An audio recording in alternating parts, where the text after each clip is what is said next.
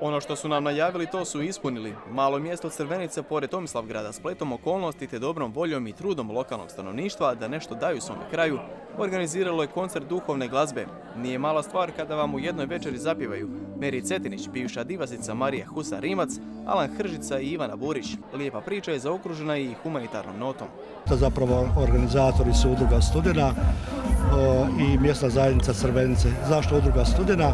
Zato što, je, zato što su postavljeni kamen temeljac za izgradnju kapelice našoj blažnici Blažnoj Mariji Petković prošle godine i ovaj koncert u suradnji sa sestrama Blažne Marije Petković događa se u našoj župi i kao župnik jasno podržavam ovu inicijativu i ovu akciju svim srcem i svom dušom. Ovo je zapravo jedan jedinstveni događaj. Ima prepuni smo koncerata razno raznih koncerata, posebno u ljetno vrijeme, ovo je jedan jedinstveni koncert, ja bih rekao jedan molitveno duhovni susret u duhovnoj pjesmi od naših poznatih izvođača duhovne glazbe. Kapelica će na izletištu studena poslužiti posjetiteljima i za duhovni odmor, a upravo je koncert imao sličan učinak. Bio je to pravi odmor za dušu. To su potvrdili izvođači s kojima smo se družili prije početka. E, koliko duhovna glazba znači za vas? Pa znači mi puno budući da sam ja autor pjesama i u tom cijelom svom radu, opusu napisala sam i dosta duhovnih pjesama. Ja ono, ne, kad sedne za klavir ne razmišljam u kom, ću pravcu krenuti, jednostavno nekakva pjesma izađe iz mene i ovisi o tom momentu, o inspiraciji, šta se u meni događa i krenem za pjesmom, tako te duhovne pjesme, budući da ja sam vjernica i, i volim takav, nekako se moj cijeli način života i sve to što se bavim, sve to ima veze, povezano je i sa tim, i sa Bogom i sa svim tim lijepim mislima i ljudima, životu, tom jednom velikom ljubavu koju ispunjava i mene i svijet kakvi ja doživljavam. Tako da, eto, te duhovne pjesme jednostavno su i dio mene. Znači puno jer sam tome posvetio svoj život. E, zadnjih par godina bavim se isključivo duhovnom glazbom, napravio sam puno koncerata i snimio sam album zadnji e, koji je super, evo ga, se i prodaje i sve više ljudi nekako e, traže tu duhovnu glazbu. Mislim da je duhovna glazba svakako u jednom porastu, u jednoj crti uzlaza. Čitajući vašu biografiju vidio sam da ste bili i sportaš, da ste se bavili nogometom, e, svirali ste različite instrumente, gitara je često bila uz vas, ali ipak ste odlučili se za duhovnu glazbu. Pa da, u jednom trenutku je bilo ono ili ću nogomet ili ću, e, ili ću se posvetiti potpuno glazbi i tu je nekako na moj put se pojavio pokojni Đorđe Noković e, koji je poslušao te pjesme koje sam ja radio, rekao ono, to je fenomenalno, ajmo raditi album, ajmo potpisati ugovor i nekako evo ga je ta ljubav prema glazbi prevladala. I evo, kako ste vi zadovoljni sa vašom dosadašnjom karijerom? Pa super, radimo jako puno tih koncerata prekrasnih i u Hrvatskoj sam i idem van dosta, tako da sam ono, jako zadovoljan, evo, čak puno bolje mi ide ovo, ovo što sada radim nego ono što sam radio kao pop pjevač.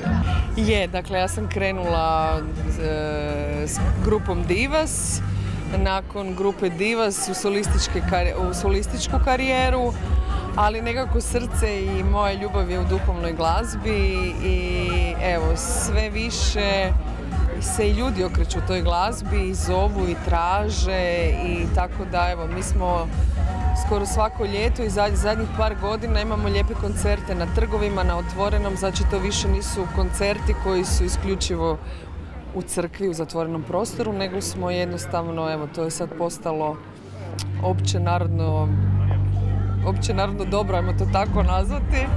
A, ti koncerti su izašli na cestu, na, izašli su van, na trgove i sve su veći sve su popularni i meni je drago da mladi slušaju i tu vrstu glazbe.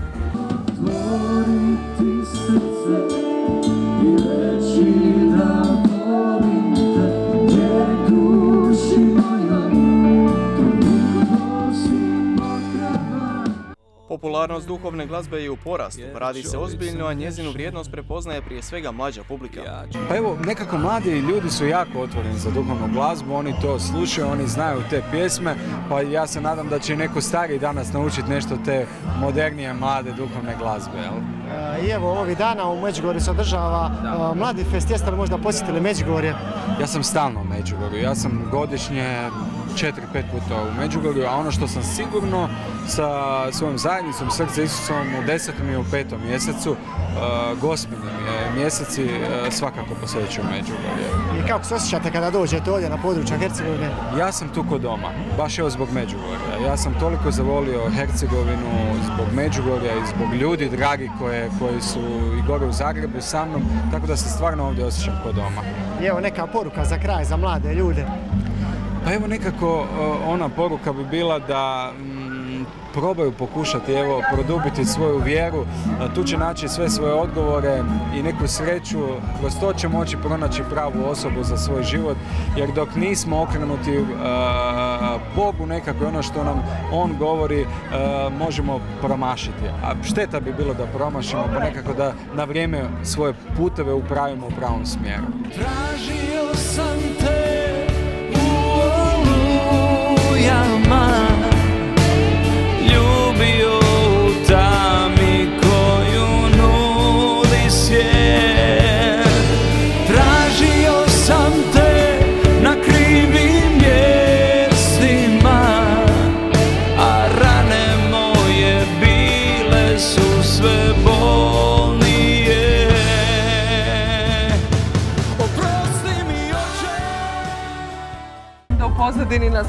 Prati jedna glazba koja nema veze s onim što ćemo mi večeras pjevati. Uh, koliko su mladi zainteresirani za duhovnu glazbu? Jako, jako.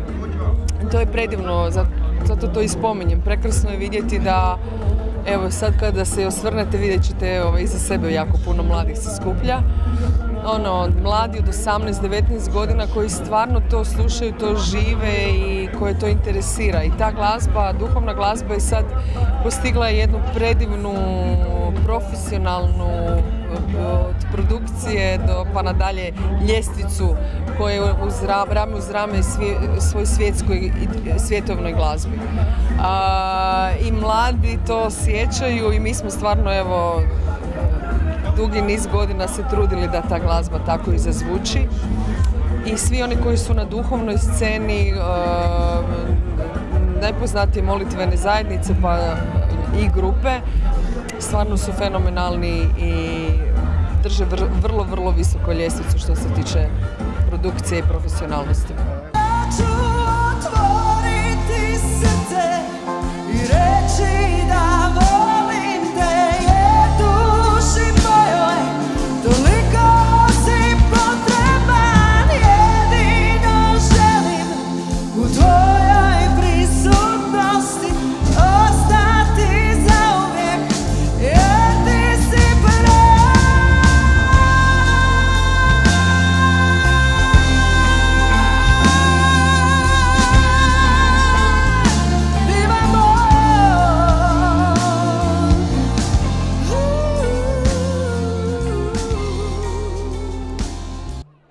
Postoji takozvani biskupov kamen gdje je, kažu, biskup na prelasku iz župe u župu nekada sjedao na drugog konja. Uz poticaj spomenute priče, inicijator izgradnje je Monsignor Ratko Perić, ujedno štovatelj Blažene Marije Propetog Isusa Petković, čiji je život primjer mnogima. Puno radila sa mladima, sa bolesnicima, sa djecom, bila je aktivna u župi i onda je sam biskup njen, Dubrovački Josip Marčelić, zapravo nju je predložio da bi se ona intenzivnije bavila jer je ona htjela ući, poći neki samostan drugi, da bi osnovala samostan i da bi mogla osnovati ga u Blatu, evo tako je ona dakle, na tu inicijativu biskupa Marčelića započela s društvom. Živjela je u jedno 20 zapravo godina, poslala je svoje sestre u Južnu Ameriku gdje su ona išla u misijski apostolat i tamo je ona pošla za njima 40. godine. I došao je drugi svjetski rat, nije se mogla vratiti više u domovinu i ostala je u Južnoj Ameriki, u Americi 12 godina. I kada je već bilo nekako vrijeme pogodno, a tamo je se družba počela razvijati, u, Europi su sestre radile dakle svoju karizmu, poučavanje djece, siromašnih, mladih, bolesnih, njima se posvećivali za njezi bolesnika. Onda su oni, ovaj, ona je se 52. tek uspjela vratiti i to u Rim.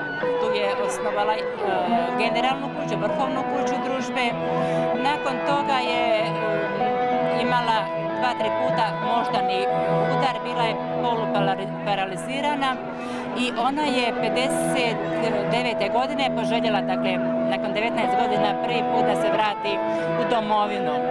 I tada tako poluparalizirana je došla u domovinu, ostala je dva mjeseca, pozdravila je, posjetila sve kuće naše družbe ovamo u Europi i ponovno se vratila u Rim gdje je na glasu svetosti umrla 66. godine. 98. godine su njezini zemlji ostaci iz Rima preneseni u Blato i e, zbog njezinog takvog doista svetog načina života Ivan Pavao II, danas sveti papa, je u Dubrovniku 6.6.2003. proglasio blaženom. Evo, to je bila naša prva hrvatska blaženica koja danas doista u svom svetištu u Blatu na Korčuli privlači jedan veliki broj ljudi, posjetitelja, hodočasnika gdje ljudi mole i doista jedno sada mjesto oaza, rekla bih, mira i molitve u našoj kući Matici, da svetištu Blaženo. Sigurno će ova kapela kada završi njezna izgradnja isto postati takva kuća mira. Ja se upravo tome nadam, jer sam ambijent u kojem to, e, kako je kapelica jednom tako malo povješenom brdaštu gdje je e, iznad njega se uzdiže već sada križ, dakle to je providnost već nekako predvidjela, tako da se ja nadam da bi to moglo privlačiti sve te posjetitelje koji dolaze na izletište studena, onda ići i, jer je predviđen i križni put kod te kapelice koji bi išao prema tome križu koji je već sada, dakle, se uzdigao.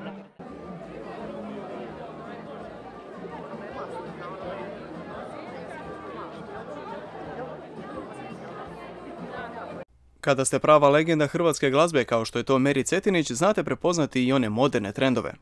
Dobro mislim, ali društvene meze imaju i svoju dobru i lošu stranu. Ta dobra strana je stvarno što si u direktnom kontaktu s ljudima, s publikom, možeš ih istog trena predstaviti neke svoje stvari koje bi možda da ide neki drugi putom, putem trajalo ili ako ti neko uopće to to realizira, ali ti danas e, dosta glazbenici mogu stvarati nekako sami i prezentirati svoje radove i ovi, tu je taj face dobar jer imaš odmah mišljenje publike. Što nam nosiš ti?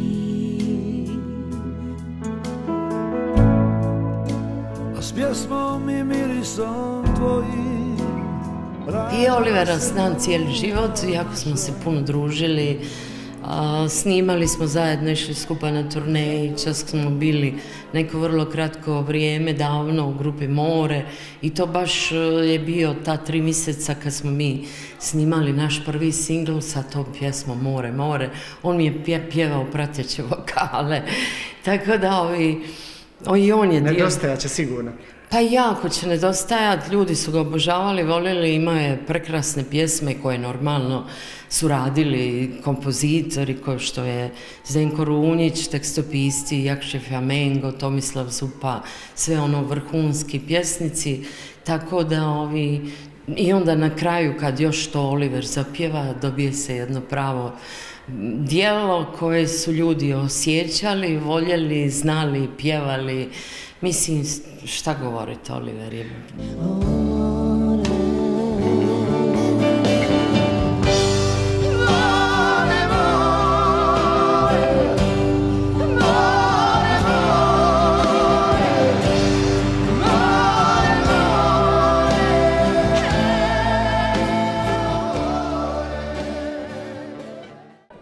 A planovi za budućnost? Ma teško je biti vidovit. Planove uvijek puno. Sad sam vas zatikao sa pitanjem. što reći, što reći? pa evo, imam puno planova i poslovnih i privatnih, ali nadam se tih puno planova da ako će se jedan izrealizirati to će biti jako dobro. jedan od planova, evo ja otvaram u Samoboru, živim, otvaram tamo glazbeni atelje početkom devetog mjeseca. Onda eto, nadam se da ću snimiti koju pjesmu uskoro. Koncerti, radim na jednom talent showu Suprug je velika potpora u svemu. da je na drugoj televiziji, neću reći koji, kao vokalni mentor.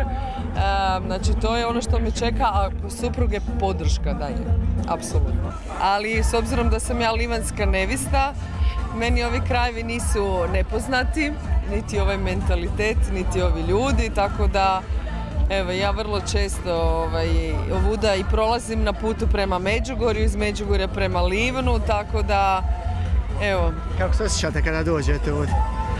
Pa sad se osjećam kao doma, jel?